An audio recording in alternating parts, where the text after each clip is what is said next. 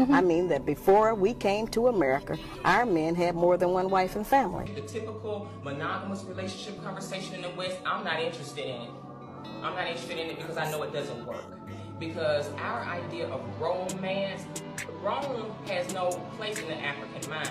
And man, you gotta stop lying you just have to be real because it, it is your nature to be polygamous and it's causing a lot of confusion and heartache because a man is trying to be committed to a woman simultaneously his nature. He wants to be with multiple women. I also find it ironic that we're so accepting of same-sex couples well no we're not. No we not. Yes you are. Yes we as a society got through that. No problem.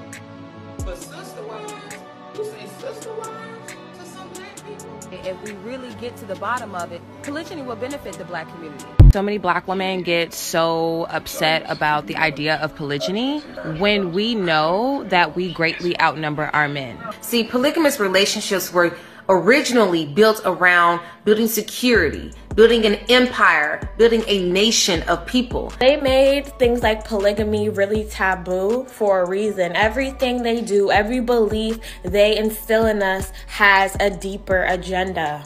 Like I wonder if we ever sit back and just really think about, damn, like all all of my sisters deserve a man in the home. Think about it. If all the black men with multiple baby mamas started to form a healthy polygamous relationship, imagine the empires and the communities that would be built. If you brought two women together who both had really good stable jobs, plus that one man, which is the king, which is the leader, who also had a good job, you have three financial incomes in one household. Instead of having baby mama drama and having a bunch of black people pinned against each other. Do we ever think about, well, what's best for the community? Like, what's best for the children of the community? One of our bigger problems is that all of us don't think on a collective level. You have to have that mindset to step into a polygamous relationship. You have to look at the bigger picture. You have to be willing to build a village, build a community, build wealth. And I do believe that monogamy for a lot of black men is unnatural.